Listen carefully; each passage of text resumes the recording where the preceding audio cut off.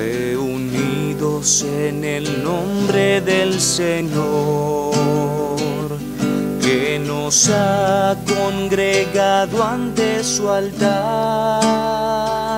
Celebremos el misterio de la fe, bajo el signo del amor y la unidad. Celebremos el misterio de la fe, bajo el signo del amor y la unidad. En nombre del Padre, del Hijo, del Espíritu Santo. Amén. La paz y el amor de Jesucristo resucitado estén con todos ustedes.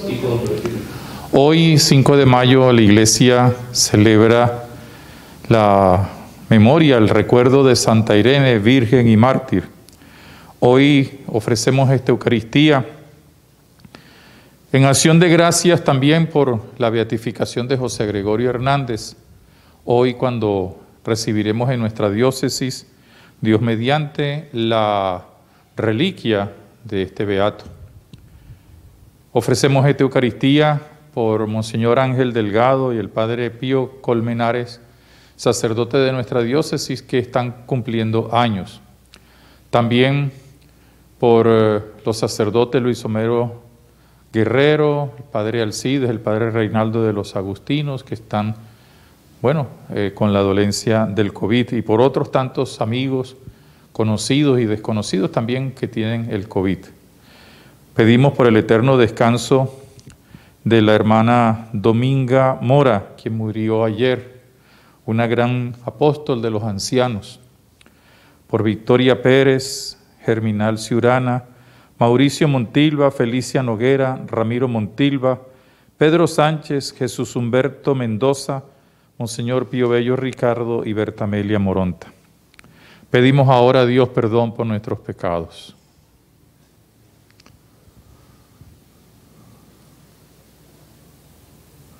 Yo confieso ante Dios Todopoderoso y ante ustedes, hermanos, que he pecado mucho de pensamiento, palabra, obra y omisión, por mi culpa, por mi culpa, por mi gran culpa.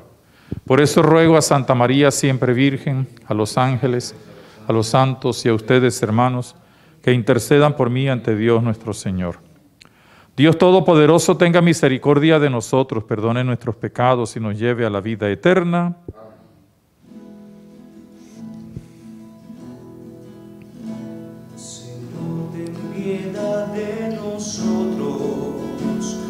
Señor, ten piedad. Señor, ten piedad de nosotros. Señor, ten piedad. Cristo, Cristo, Cristo, ten piedad. Cristo, Cristo, Cristo, ten piedad. Señor, ten piedad de nosotros. Señor, ten piedad. Señor, ten piedad de nosotros. Señor, ten piedad. Oremos. Oh Dios que amas la inocencia y la devuelves a quienes le han perdido, atrae hacia ti el corazón de tus fieles, para que siempre vivan a la luz de tu verdad los que han sido librados de las tinieblas del error. Por nuestro Señor Jesucristo, tu Hijo, que vive y reina contigo en la unidad del Espíritu Santo y es Dios, por los siglos de los siglos. Amén.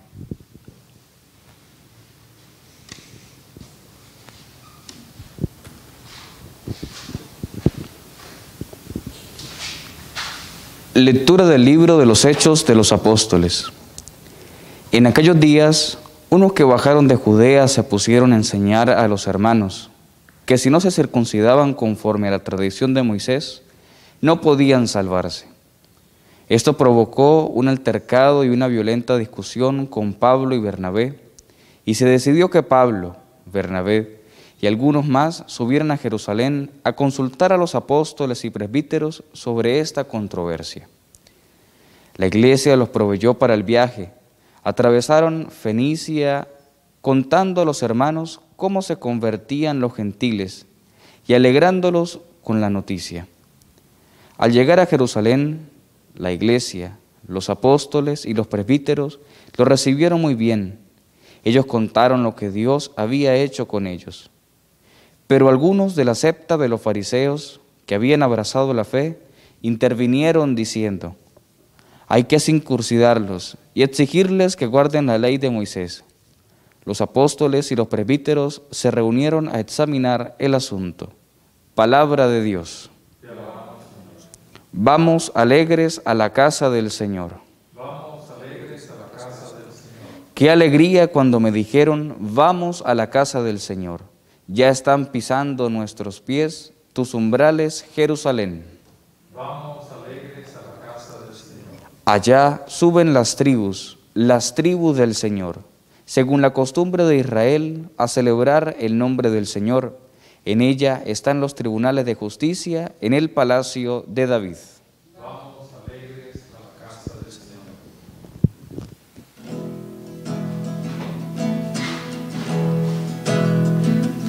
Qué alegría cuando me dijeron,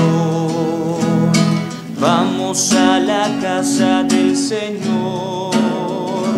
Ya están pisando nuestros pies, tus umbrales, Jerusalén. El Señor esté con ustedes. Proclamación del Evangelio según San Juan. En aquel tiempo dijo Jesús a sus discípulos, yo soy la verdadera vid y ustedes son los sarmientos. Mi Padre es el labrador. A todo sarmiento mío que no da fruto se le arranca, y a todo el que da fruto lo poda para que dé más fruto. Ustedes ya están limpios por las palabras que les he hablado. Permanezcan en mí y yo en ustedes.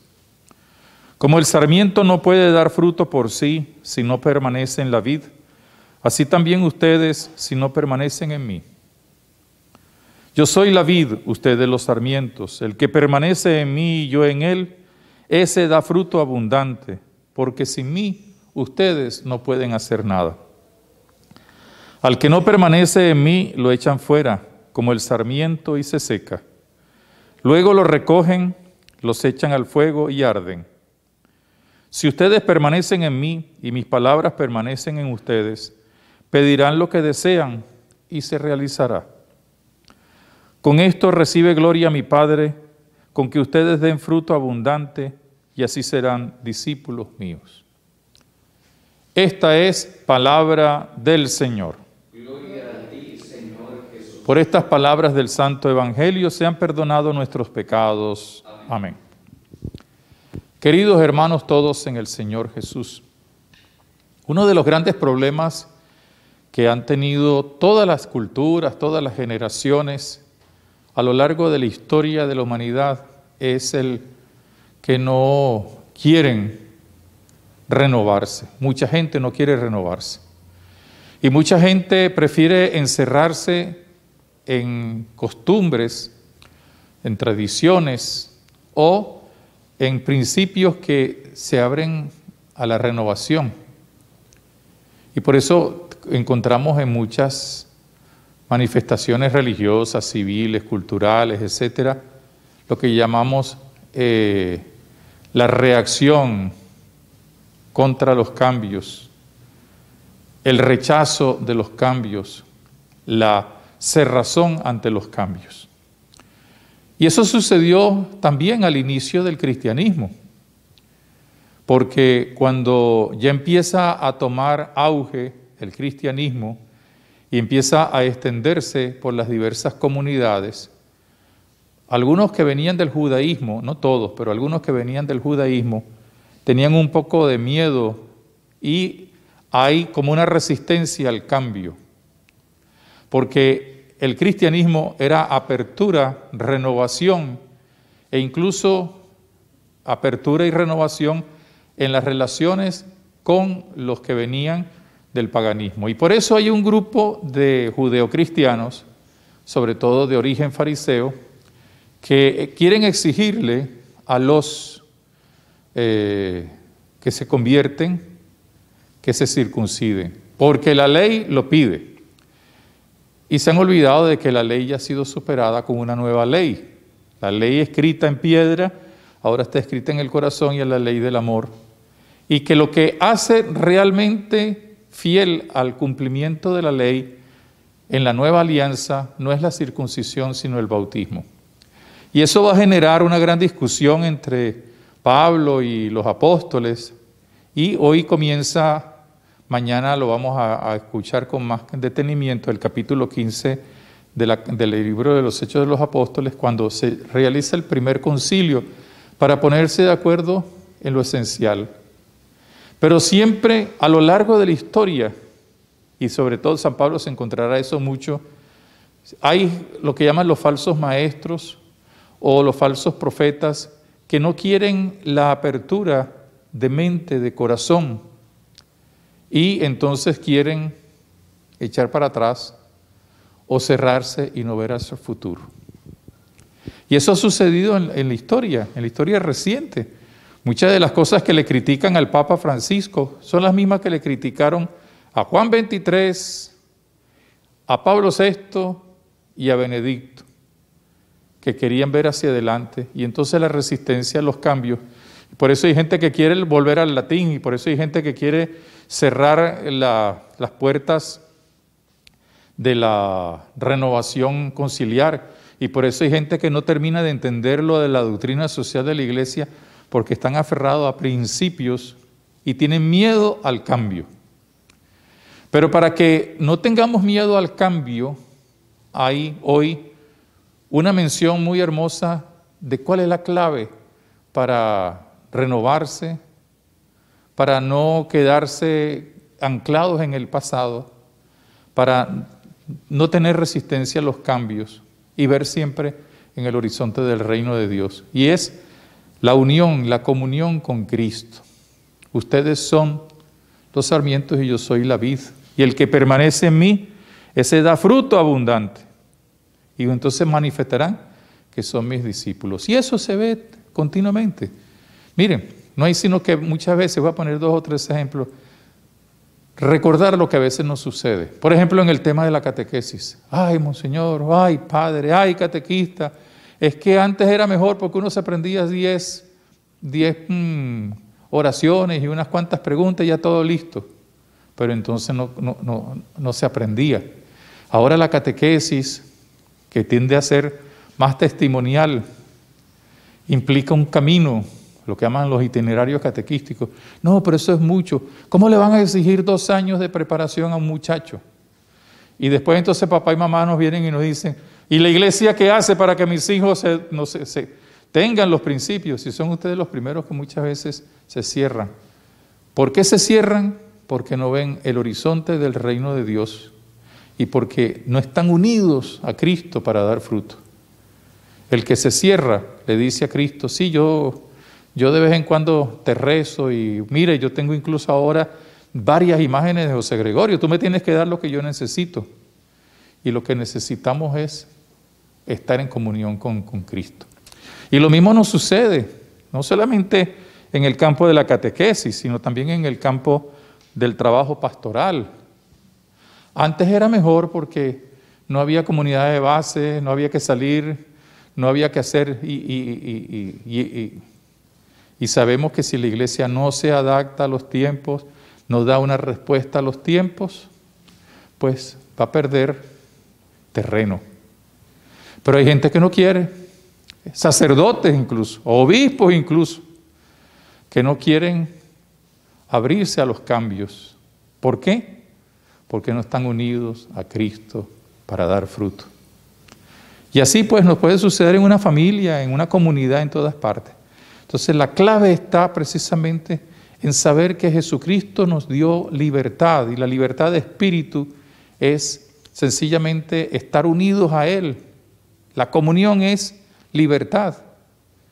Y libertad significa que uno sube con riesgo unos cambios, una renovación, pero sobre todo, lo más importante, es que uno entonces asume el estar unido con Cristo para dar fruto. Estar unidos a Cristo no es solamente leer la palabra de Dios o comulgar, sino es actuar en su nombre y actuar en su nombre con decisión. Hoy esta palabra de Dios nos reta, nos desafía en un momento tan difícil, con crisis económica, crisis política, crisis social, crisis de salud. Hay mucha gente que anda buscando y entonces unos se cierran porque yo tengo una postura que es la verdadera. Otros dicen, no, nosotros no estamos con esto, preferimos la violencia y nos olvidamos de que si permanecemos en Cristo, vamos a dar fruto y un fruto que transforma, nos transforma a nosotros y transforma a los demás. Que esta palabra y la Eucaristía que celebramos nos permita no solamente abrir nuestra mente y nuestro corazón, sino permanecer unidos al Señor y dar frutos de salvación. Amén.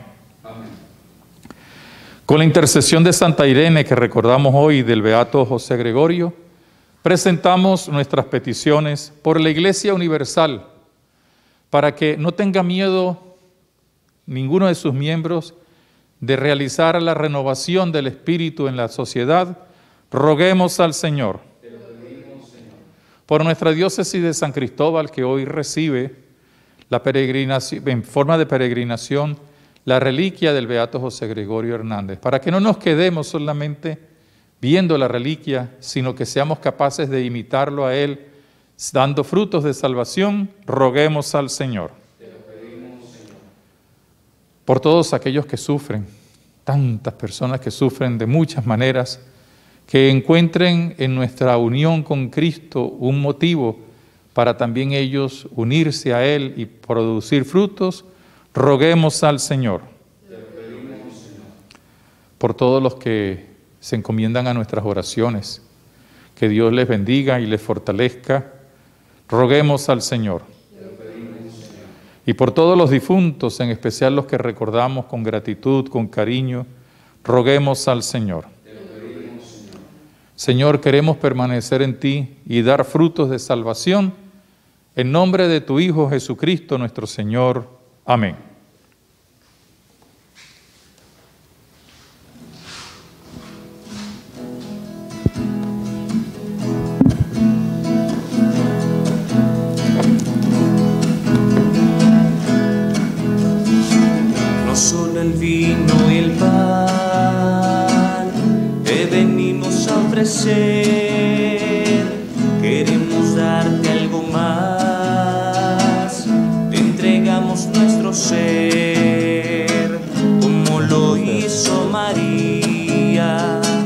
Que tu mensaje escuchó y dijo un sí generoso para aceptar su misión, como lo hizo María que tu mensaje escuchó.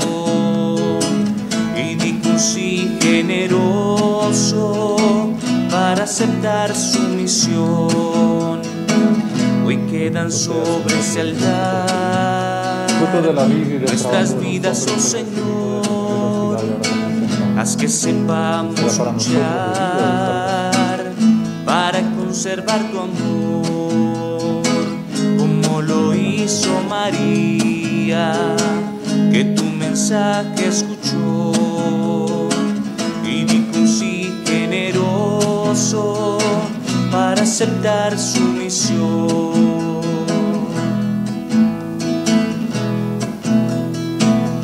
Solo el vino y el pan te venimos a ofrecer, queremos darte algo más entregamos nuestro ser, como lo hizo María, que tu mensaje escuchó y dijo sí generoso aceptar su misión.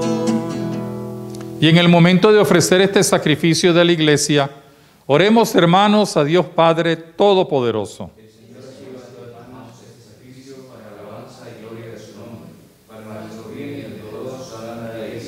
Concédenos, Señor, que la celebración de estos misterios pascuales nos llene siempre de alegría y que la actualización repetida de nuestra redención sea para nosotros fuente de gozo incesante. Por Jesucristo nuestro Señor. El Señor esté con ustedes.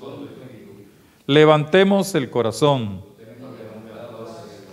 Demos gracias al Señor que es nuestro Dios. En verdad es justo y necesario, es nuestro deber y causa de nuestra salvación. Darte gracias siempre, Padre Santo, pero en, en, todo lugar por Jesucristo, tu Hijo amado. Por el que es tu palabra hiciste todas las cosas, tú nos lo enviaste, para que hecho hombre por obra del Espíritu Santo y nacido de María la Virgen, fuera nuestro Salvador y Redentor. Él, en cumplimiento de tu voluntad para destruir la muerte y manifestar la resurrección, extendió sus brazos en la cruz y así adquirió para ti un pueblo santo. Por eso con los ángeles y los santos cantamos el himno de tu gloria. Santo, santo, santo, santo es el Señor, el cielo y la tierra están llenos de ti, Osana, Osana, Osana, los ángeles cantan, Osana, Osana, Osana, cantemos a Dios, bendito es Cristo que viene en el nombre del Señor. Cristo que viene en el nombre del Señor. Osana, Osana, Osana, los ángeles cantan. Osana, Osana. Osana, cantemos a Dios. Santo eres en verdad, Padre, fuente de toda santidad.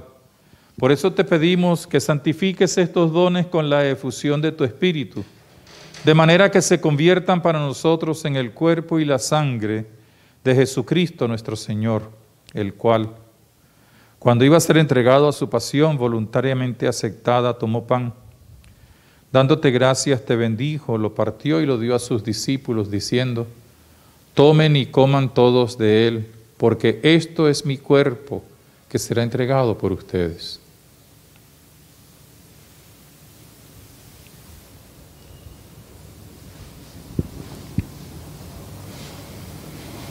Del mismo modo, acabada la cena, tomó el cáliz y dándote gracias de nuevo, lo pasó a sus discípulos, diciendo, tomen y beban todos de él, porque este es el cáliz de mi sangre, sangre de la alianza nueva y eterna, que será derramada por ustedes y por muchos para el perdón de los pecados.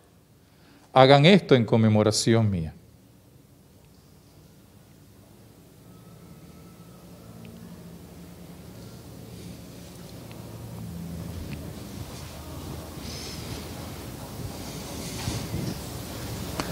Y este es el sacramento de nuestra fe.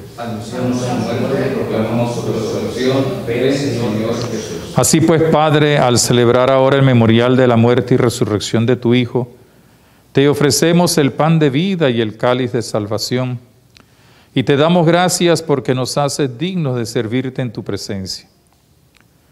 Te pedimos humildemente que el Espíritu Santo congregue en la unidad a cuantos participamos del cuerpo y sangre de Cristo. Acuérdate, Señor, de tu iglesia extendida por toda la tierra y con el Papa Francisco, conmigo indigno siervo tuyo, mi hermano Juan Alberto, obispo auxiliar, y todos los pastores que cuidan de tu pueblo, llévala a su perfección por la caridad.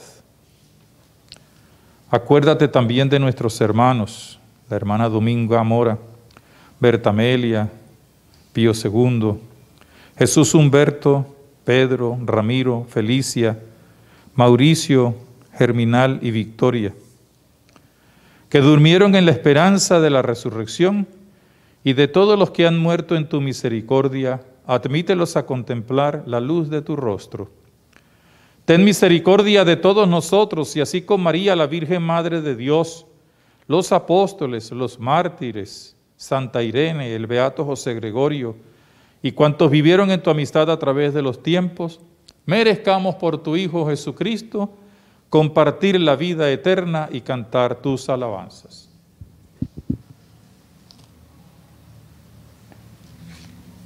Por Cristo, con Él y en Él, a ti Dios Padre Omnipotente, en la unidad del Espíritu Santo, todo honor y toda gloria, por los siglos de los siglos. Amén. Amén.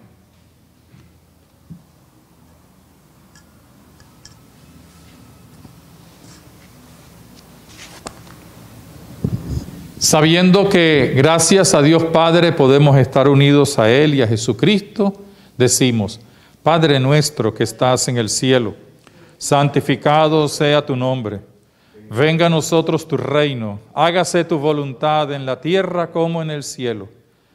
Danos hoy nuestro pan de cada día, perdona nuestras ofensas, como también nosotros perdonamos a los que nos ofenden. No nos dejes caer en la tentación y líbranos del mal. Líbranos de todos los males, Señor, y concédenos la justicia y la paz en nuestros días, para que, ayudados por tu misericordia, vivamos siempre libres de pecado y protegidos de toda perturbación mientras esperamos la gloriosa venida de nuestro Salvador Jesucristo. Señor Jesucristo, que dijiste a tus apóstoles, la paz les dejo, mi paz les doy. No tengas en cuenta nuestros pecados, sino la fe de tu iglesia y conforme a tu palabra, concédele la paz y la unidad, tú que vives y reinas por los siglos de los siglos. Que la paz de Jesucristo resucitado esté con todos ustedes.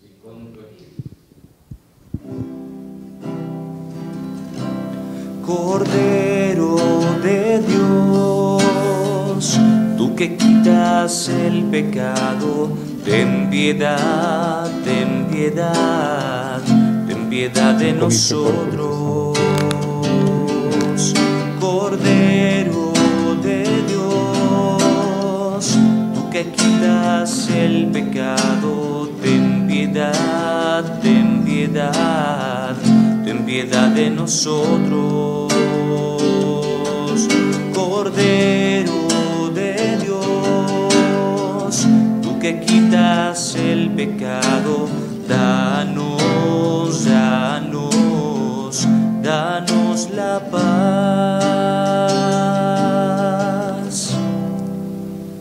Y aquí está Jesucristo, el Cordero de Dios que quita el pecado del mundo. Felices porque podemos participar en su banquete. Señor, no soy digno de que entres en mi casa, pero una palabra tuya bastará para sanar. Que el cuerpo y la sangre de nuestro Señor Jesucristo nos protejan y nos lleven hasta la vida eterna. Amén.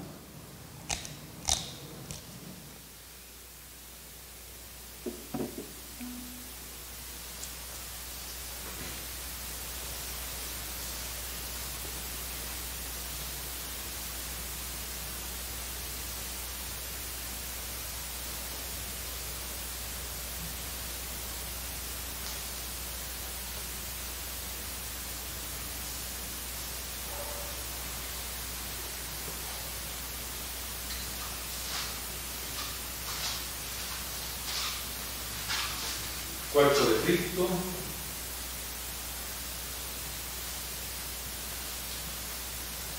El cuerpo de Cristo.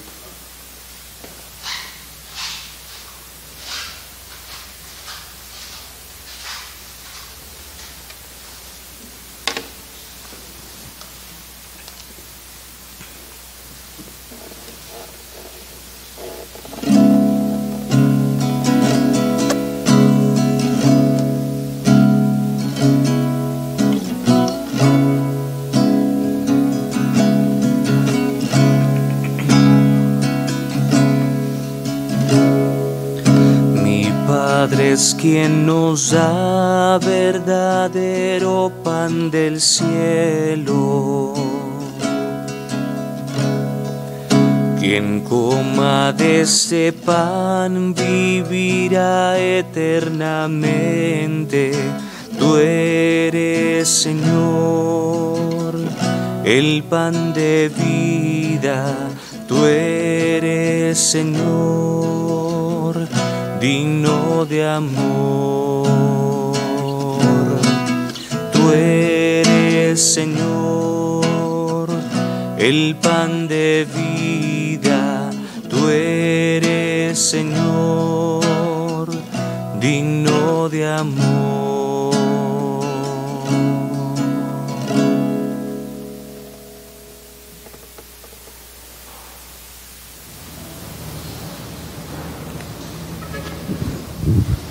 Oremos. Escucha, Señor, nuestras oraciones para que la participación en los sacramentos de nuestra redención nos sostenga durante la vida presente y nos dé las alegrías eternas. Por Jesucristo nuestro Señor. Encomendamos hoy al Padre Ángel Delgado, Monseñor Ángel Delgado, al Padre Pío Colmenares, a la maternal protección de la Virgen en su cumpleaños y también la peregrinación que hoy comienza con la reliquia de José Gregorio Hernández por toda nuestra diócesis. Decimos, Dios te salve María, llena eres de gracia, el Señor es contigo, bendita tú eres entre todas las mujeres y bendito es el fruto de tu vientre Jesús. Santa María, Madre de Dios, ruega por nosotros pecadores, ahora y en la hora de nuestra muerte. Esta tarde, a alrededor de las cuatro, estaremos recibiendo la reliquia de José Gregorio Hernández que ha sido concedida a nuestra diócesis de San Cristóbal. Lo haremos en el Hospital San Antonio de Tariba. Y mañana comienza la peregrinación en la parroquia San Juan Bosco en la mañana. Tendremos la oportunidad de bendecir Funda Osta. Y en la tarde, después de un recorrido por las calles de Tariba, a las 5 de la tarde tendremos la Eucaristía en la Basílica de Nuestra Señora de la Consolación. El viernes irá a Tucapé, a la Rectoría San José, y luego en horas de la tarde será trasladado a Barrancas, donde se celebrará la Eucaristía. Y el sábado a las 9 de la mañana, Dios mediante, vamos a tener la caravana para llevar por las principales vías de San Cristóbal a la reliquia de José Gregorio Hernández. Quiero recordarles que la reliquia no es un amuleto, tampoco nosotros la idolatramos, sino que nos recuerda lo que fue José Gregorio Hernández, templo vivo de la gloria de Dios, y nosotros también tenemos que serlo. El domingo estaremos aquí en la catedral con la reliquia y a partir del lunes comienza la peregrinación por todas las parroquias de la diócesis que terminará, Dios mediante, el 22, 21 de agosto de este año. Nos encomendamos a la intercesión de José Gregorio. Le pedimos muchas cosas para nosotros y sobre todo el don de la salud, que frene esta pandemia que tanto daño ha hecho en el mundo. El Señor esté con ustedes. Y la bendición de Dios Todopoderoso, del Padre, del Hijo y del Espíritu Santo descienda sobre ustedes, les acompañe y les proteja siempre, a permanecer unidos en el Señor y dar frutos que permanezcan siempre, podemos ir en paz. Feliz día para todos.